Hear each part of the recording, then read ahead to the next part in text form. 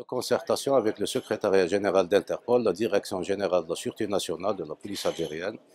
euh, a organisé durant la période allant du 27 euh, février au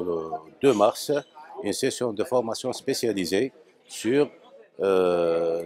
la prévention et la lutte contre l'utilisation illicite des incidents chimiques, biologiques, nucléaires, radiologiques et explosifs dans le cadre du projet baptisé Litmus qui a été initié auparavant par le secrétariat général d'Interpol.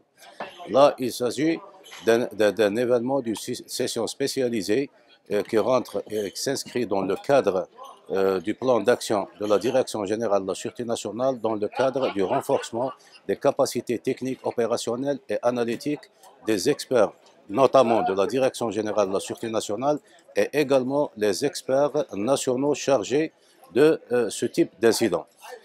Je devrais euh, souligner par ailleurs que euh, cette session de formation, qui a regroupé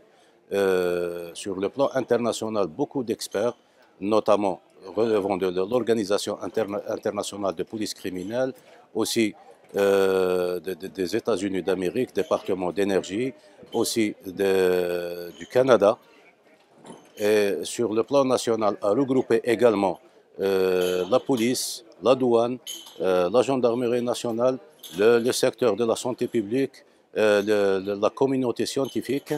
Durant cette période, ils ont débattu euh, beaucoup de thématiques concernant le, CBRNE et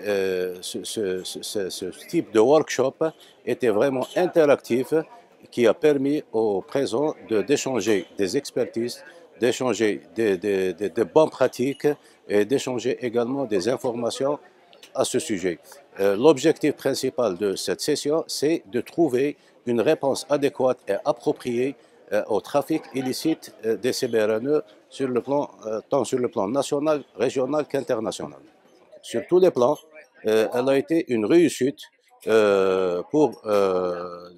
les services chargés de l'application de la loi sur le plan national et également ça rentre dans le cadre euh, et l'agenda du, secrétariat général d'Interpol en matière de renforcement des capacités euh, policières euh, dans le cadre de la lutte contre la criminalité organisée.